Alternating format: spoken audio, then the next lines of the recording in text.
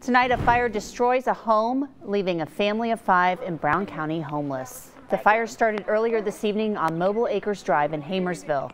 The owner of the trailer tells our photographer he was the only one there when it started. He says the glass that held a candle broke and the fire spread from there. No one was hurt and tonight the Red Cross is helping the family.